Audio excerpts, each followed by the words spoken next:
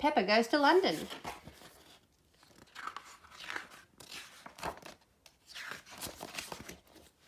Once upon a time, Peppa and her playgroup went on a day trip to London. When they arrived, Madame Gazelle told everyone to gather around. Children, she said, this is London. Wow, gasped Peppa. It's so busy. London was a very big and very busy city. There was so much to see that Madame Gazelle couldn't decide where to go first. Miss Rabbit had an idea.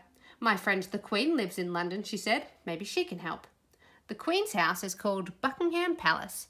Mrs. Rabbit went up to the front gate and rang the bell. Yes, said a very grand voice. Who are you? It's Miss Rabbit, said Miss Rabbit. Ah, come in, the voice said.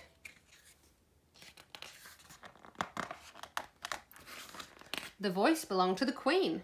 Hello, everyone, she said. Hello, Queen, shouted the children. We're visiting London for the day, said Peppa, but we don't know where to go. London is my city, said the Queen. I shall give you a guided tour. The Queen led Peppa and her friends out onto the street. She flagged down a bright red bus. Mr. Driver, she said, please may we borrow your bus? You must be joking, sniffed the driver. No, replied the Queen, I am your Queen. The driver helped everyone onto the bus. If the Queen asks you to do something, you must do it. Peppa had never been on a bus like this before. It has stairs in it, she gasped. The Queen showed the children up to the top deck. From there, they could see everything. Ting ting, the bus set off. First stop, Big Ben, said the Queen. The bus stopped in front of Big Ben. Big Ben is a clock tower, said the Queen. It helps us tell the time. Edmund Elephant shook his head. Actually, Big Ben is the bell inside, not the tower itself. Edmund knew a lot for a little elephant. Edmund was a clever clogs. Righto. Dong, dong, dong. That was loud, exclaimed Danny Dog. That's the sound of Big Ben telling us the time, said the Queen. It rang three times, so it's three o'clock. Pedro Pony had a question. Uh, if the clock rang six times, would that make it six o'clock? Yes, it would, said the Queen. And if it rang a hundred times, he wondered? Then it would be broken, said the Queen. Oh, said Pedro. The Queen drove the bus to Tower Bridge. Stop, shouted the bridge keeper. You can't cross here. The Queen was not amused. Why not, she asked. I'm sorry, Your Majesty, said the bridge keeper, but a ship needs to pass under the bridge. The ship is coming, said Peppa. It's very tall.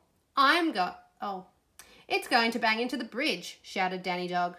The bridge lifted up just in time and the ship sailed through. Good, said the Queen. Now we can be on our way. Please lower the bridge. The bridge keeper shook her head. Another ship was coming.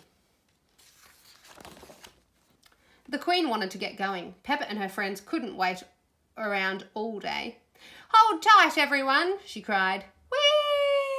The bus zoomed onto the bridge and then crunk, it got stuck in the middle. Now what do we do? asked Miss Rabbit. Everybody move to the front of the bus, ordered the Queen. One, two, three, go, shouted Peppa. The bus started to tip and wobble, creak, and then vroom down the other side of the bridge. Hooray! The Queen was very good at driving buses.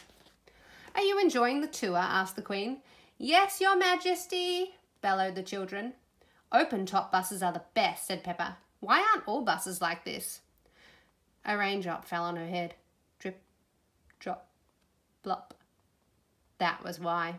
Children, said Madame Gazelle, open your umbrellas. The bus chugged through the rain to Trafalgar Square. Oh dear, sighed the Queen. What a shame, it's full of puddles. The Queen was right. There were puddles everywhere. She frowned. I think our tour is over. Ah, groaned the children as they climbed off the bus. Peppa jumped in a puddle. George jumped in a puddle. Then everyone jumped in a puddle. We love puddles, shouted the children. Come and splash, your majesty, called Peppa. It's fun. Why not, said the Queen. One is wearing one's boots.